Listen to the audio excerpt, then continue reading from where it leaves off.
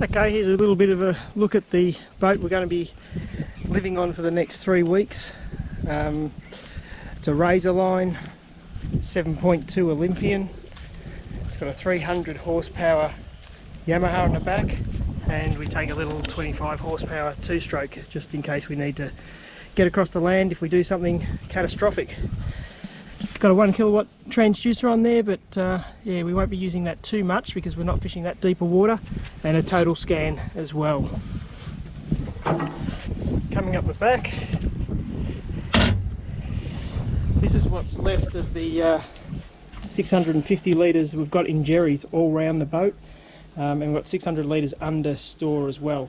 But um, we'll be dumping these off on an island and coming back to use them when we need them carrying about 80 litres of water for the three weeks and another 70 in the tank. Long life sort of stuff. Um, oranges, apples, some custard, milk, fruit. All that stuff for cooking. What we got here? Everywhere you look, we've got fuel. So I want to get all this off board as soon as we possibly can. In there is full of fuel, that's where we'd normally keep the fridge. Um, under that fuel can there's a storage area, massive kill tank. We won't be taking any fish, only what we're going to be eating. We got under here? More fuel, more water. Come up to the front.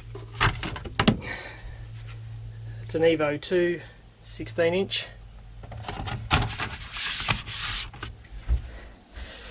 In the cabin, fridge, got meat cryovac in there, fishing gear, sleeping quarters, all our drink and everything's up the front there. And uh, yeah that's what we're set for. Three weeks of awesome fun be launched in about an hour. Got our rods up out of the way so they don't get damaged. A couple under the gunnels. And we're ready.